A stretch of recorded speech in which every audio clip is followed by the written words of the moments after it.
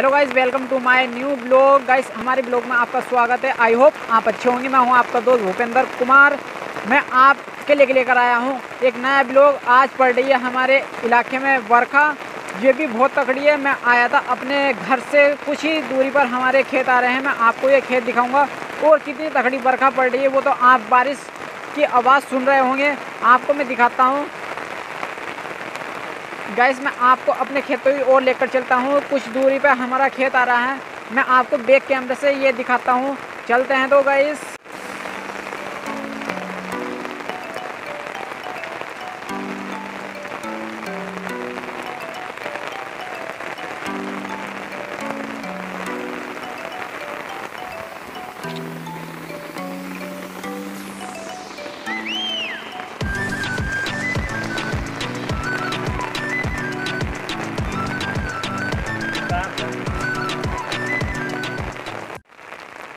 तो so guys आ गए हैं अपने खेतों पर। ये है हमारे पीछे, हमारे साथ लपकुस और हम आ गए हैं अब अपने खेतों पर।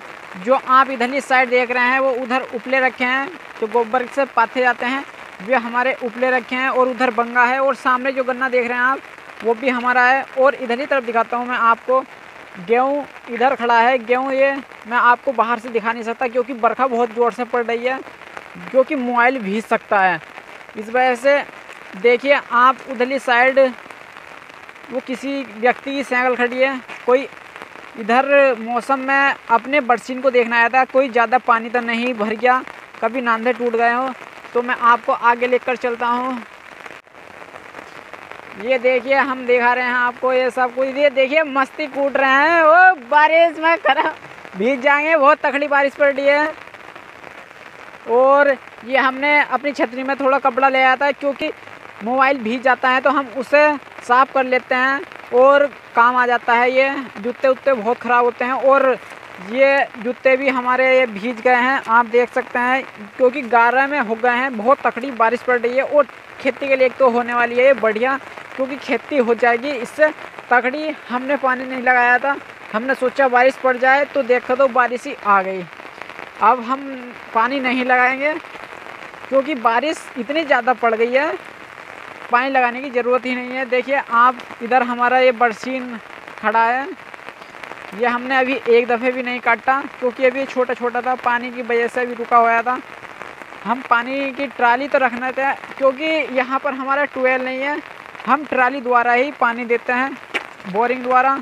और देखिए, आप देख सकते हैं, ऐसे ये पानी बहुत चमक रहा है बरसीन में।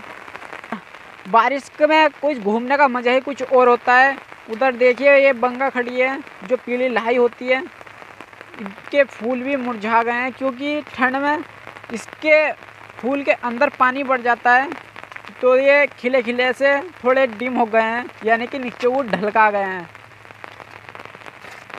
गैस उधर पूरब की साइड से आ रहा है बहुत तकड़ा बदल और अब लगने लग गई है ठंड, हवा चल रही है बहुत ठंडी ठंडी अब चलते हैं हम घर को।